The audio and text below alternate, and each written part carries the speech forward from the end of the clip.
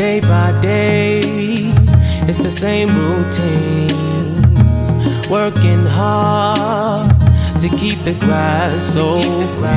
So you know there's gotta be more. A void you cannot ignore. There's a crown for you to take, a step for you to make. Stop thinking like a slave. Discard your human nature. Submit yourself to heat of highest majesty, the grace of Elohim, and you will be a king.